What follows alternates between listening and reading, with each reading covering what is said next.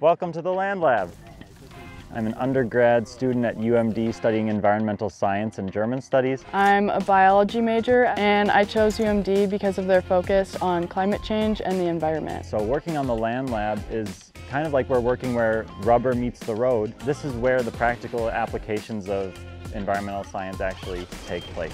Today we've been laying compost on our market garden field. We're getting ready to prep our fields to grow a variety of different crops. We also do a variety of research. Some of that research is for the Assisted Tree Migration Project and we're also doing some biochar research, seeing how different combinations of biochar and compost are able to help sequester carbon. I love it up here. I love the climate. I like the people I've met on campus, I think really make it a special place to be.